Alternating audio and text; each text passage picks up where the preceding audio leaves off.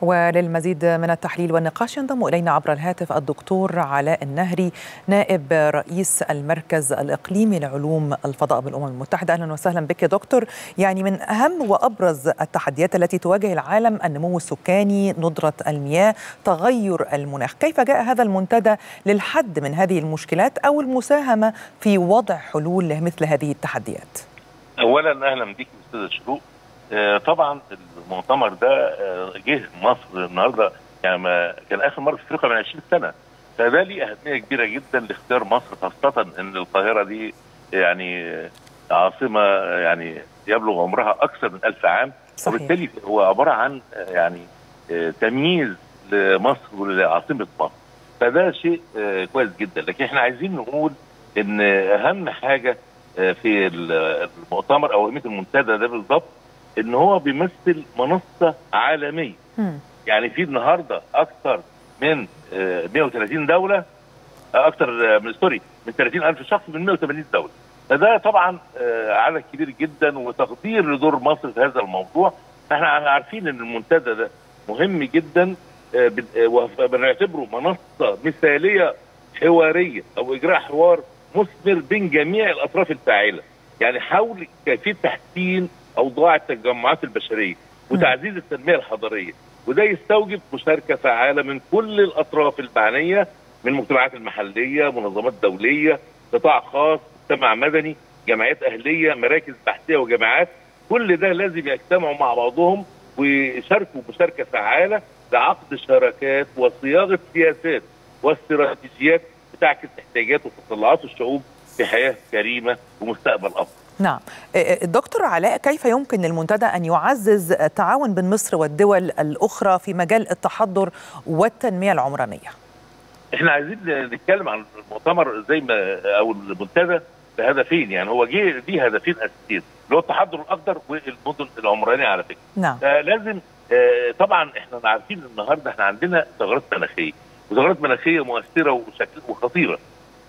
فالنهاردة حتى السيد الرئيس اتكلم على مبادرتين أو قال استراتيجيتين. صحيح. يعني عايز حضرتك اللي هو التحضر الأخضر وفي نفس الوقت إيه؟ التحضر العمراني. صحيح. مصر طبعا آه يعني صارت في موضوع التجمعات العمرانية بشكل كبير جدا. النهارده العاصمه الاداريه الجديده وعندي النهارده العالمين الجديدة وعندي أكثر من 22 مدينة مصر ساهمت فيهم لتحضر أو لإنتاج أو لعمل تجمعات حضارية وعمرانية النهارده العالم كله بيشيد بيها ويمكن سمعنا كلمة الوفد اليمن انك كان بيتكلم بيشيد بهذا الموضوع. صحيح. الحاجة الثانية التحضر الأخضر ده مهم جدا إحنا عندنا النهارده زيادة سكانيه كبيرة جدا وعندنا برضو إحنا متوقعين في السنوات العشر أو العشرين تكون هيحصل هجرة مش من مصر بس من دول كتير في العالم لأن النهارده ارتفاع منسوب سطح البحر نتيجة التغيرات المناخية برضه هيأثر بشكل كبير فمعنى كده إحنا لازم نعمل مدن حضارية ذكية تستوعب هذه التجمعات البشرية وتخليهم يعيشوا حياة آمنة. وأيضا تكون صديقة للبيئة يعني دي من أهم المحاور. طبعا صديقة للبيئة. طبعا. النهارده حضرتك لما بنيجي نتكلم يعني لو قلنا النهارده التجمعات العمرانية الجديدة زي في العاصمة الإدارية الجديدة م. أو العالمين على أعلى مستوى الطراز المعماري اللي هو بيحافظ على البيئة وفي نفس الوقت يواجه التغيرات المناخية من ارتفاع درجه الحراره يعني النهارده فيها أساليب معمول فيها أساليب هندسية بحيث النهارده تواجه حتى تأثير ارتفاع درجة الحرارة نتيجه التغيرات المناخية.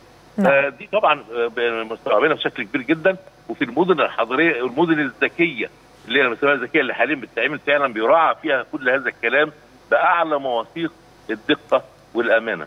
م. نعم. يعني كيف سيعكس اذا المنتدى يعني أو كيف تساهم مخرجات المنتدى في دعم خطط التنمية المستدامة لمصر على المستويين سواء الإقليمي أو الدولي؟ طبعا طبعا بيساعد بشكل كبير جدا المنتدى لأن إحنا النهارده في اجتماعات والنهاردة في اجتماعات وشراكات بين دول متقدمة في هذا الموضوع وبالتالي بنقدر نضع استراتيجيات سليمة جدا سواء كانت محليا أو دوليا أو تعاون دولي. صحيح. ده طبعا شيء لا إحنا متوقعين نتائج مبهرة من هذا المنتدى. طيب لو تحدثنا بقى أيضا عن يعني أهم الإنجازات التي سوف يعكسها المنتدى بالنسبة لمصر في مجالات التحول للأخضر والتنميه الشامله والبنية التحتية على المستوى العالمي. النهارده في المنتدى في خبراء عالميين بشكل كبير جدا. والنهارده بنتكلم برضه على التحول الأخضر، عندنا في منطقة السخنة مصر النهارده تتحول الأخضر بإنتاج الهيدروجين الأخضر والأمونيا الخضراء لمواجهة تغييرات تاثير الانبعاثات الحرارية أو الغازات الدفيئة. النهارده ثاني أكسيد الكربون النهارده في جميع المواصلات عندنا النهارده أو معظمها بتتعامل مع الوقود الاحفوري اللي هو ال ال البنزين أو الكيروسين أو حتى الغاز الطبيعي. لكن النهارده لا مصر تتحول إلى الأخضر. عندنا منطقة السخنة المنطقة الاقتصادية الحرة لقناة السويس. فعلا تم إنشاء مصانع وحاليا في باكوره إنتاجها عشان تمد السفن بالهيدروجين أو الأمونيا الخضراء بدلا من الوقود أو الاحفوري اللي هو يتمثل في البترول. فدي ده شيء عظيم جدا مصر عاملاه. فالنهارده في خبراء موجودين، النهارده في تبادل خبرات وتبادل تبادل آراء بجانب برضه في شركات بتحضر وبالتالي الكلام ده كله هيعود بالخير إن شاء الله خاصة إن مصر تهدف إلى إنتاج 8% من الإنتاج العالمي في الهيدروجين والأمونيا الخضراء اللي هو منطقة قناه السويس إن شاء الله اللي موجود حاليا وبالتالي إن شاء الله تعالى هيدر على مصر أرباح كبيرة جدا وهيحولها فعلا للأكثر بشكل رائع. دكتور علاء سؤال هام جدا. ما هي أبرز التحديات التي يواجهها العالم اليوم في تحقيق مدن ومجتمعات مستدامة وصديقة للبيئة وتحدث اتزان بيئي؟ وأكبر النهارده تحدي هو تغير المناخ أكبر تحدي.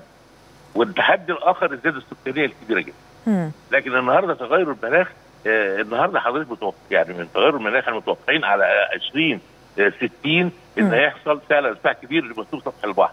إذا استمر الغليان العالمي اللي بنقول عليه حاليا عصر الغليان العالمي إذا استمر ارتفاع درجة الحراره وإنتاج الانتاج الوقود الأحفوري أو إنتاج آه تشغيل مصانع بالوقود الأحفوري متمثل الفحم والبترول هترتفع درجة الحراره، لو ارتفعت درجة الحراره يبقى عندنا تحدي كبير جدا وارتفاع منسوب سطح البحار.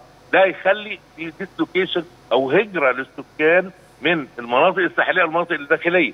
وده هيبقى تحدي كبير جدا بجانب زيادة السكان يبقى ده من أكبر التحديات اللي بقول عليه هو التغيرات المناخية. أكبر تحدي. والتحدي الآخر هو الزيادة السكانيه وعشان كده النهارده السيد الرئيس مهتم قوي بهذا المنتدى لأن ده بيتحدث عن الحذر وعن المدن الذكية وعن المدن الاستراتيجية. فده شيء عظيم جدا. أنا بشايف إن هو في وقته الصحيح تماما يعني. نعم دكتور علاء النهري نائب رئيس المركز الإقليمي لعلوم الفضاء بالأمم المتحدة جزيل الشكر لك.